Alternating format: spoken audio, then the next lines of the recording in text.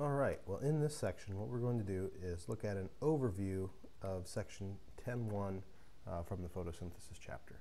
Now it's worth taking a moment to uh, step back and look at sort of the relationship between photosynthesis and the major themes uh, in the course.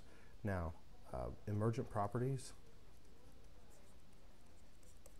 occur when individual units uh, work in concert with one another to do work that the individual uh, units themselves could not do.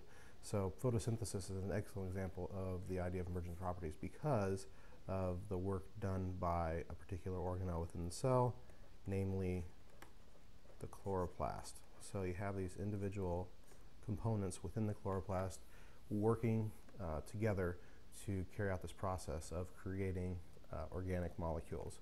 Now, uh, to get a sense of where this occurs, what we'll do is imagine taking a, a leaf and lying it flat and then ripping open an edge of the leaf and looking at, looking at it from the side or looking at sort of a, a cross-sectional view. So here's our leaf and on the top side of the leaf there will be a row of green uh, organelles here uh, called the chloroplasts. So uh, these cells are called uh, palisade mesophyll cells uh, because they arrange themselves in columns uh, on the tops of the leaf to try and have the greatest concentration of chloroplasts.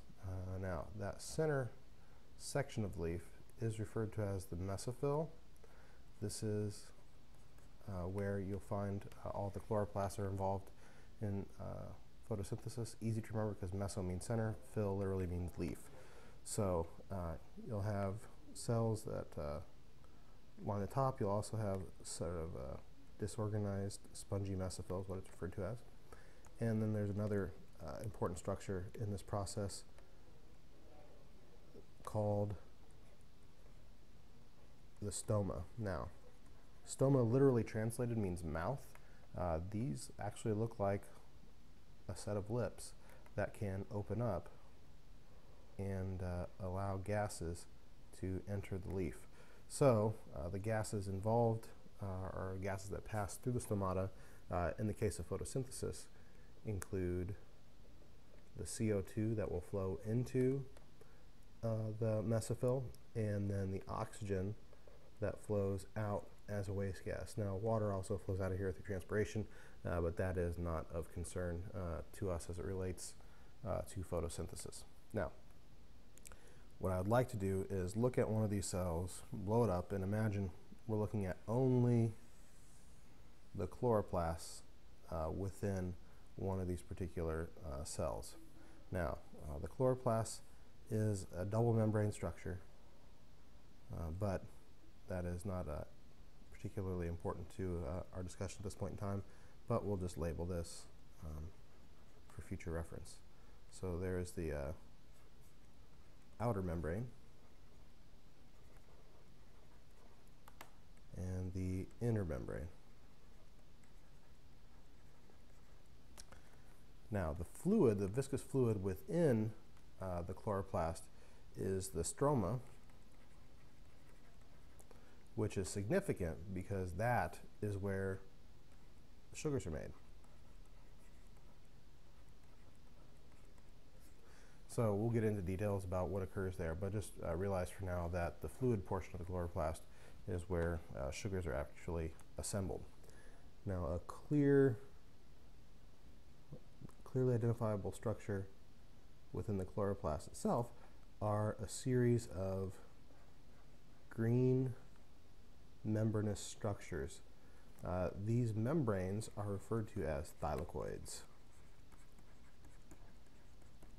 And what's significant about thylakoids is that they contain chlorophyll, the green pigment uh, that plays a prominent role in the photosynthetic process.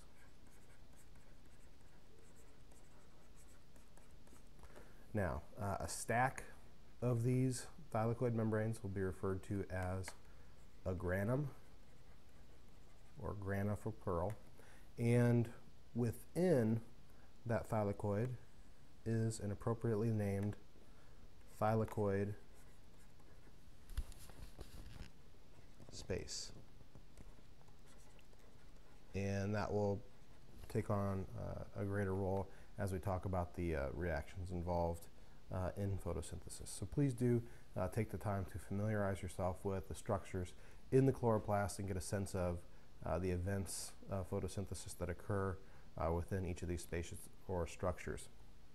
Now, what I'd like to do is take a moment to now um, look at the reaction uh, overall.